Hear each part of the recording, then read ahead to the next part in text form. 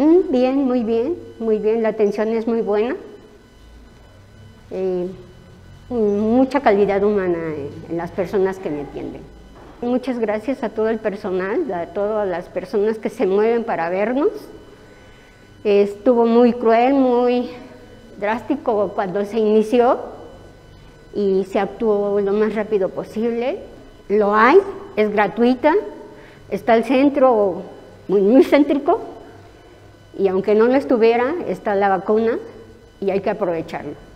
Entonces nosotros somos los que no debemos dejar pasar esas oportunidades. La hay, pues hay que aplicarla. Pues me siento muy contenta porque ahorita me da mucha tranquilidad el saber que mi bebé también va a estar bien en un futuro. Van a ser con esas defensas para el COVID.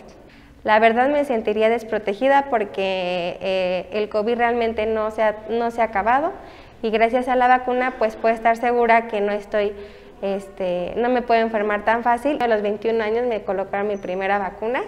Yo sentí un alivio porque pues como yo me enfermé muy gravemente, sentí que, que nos ayudaron mucho con las vacunas porque pues ya era una protección y mucha gente pues ya no iba a morir. Aquí en el centro de salud ha sido muy buena, muy aceptada por parte de todos los doctores y las doctoras, las enfermeras, los enfermeros, los pasantes, han tenido muy buena atención para con uno.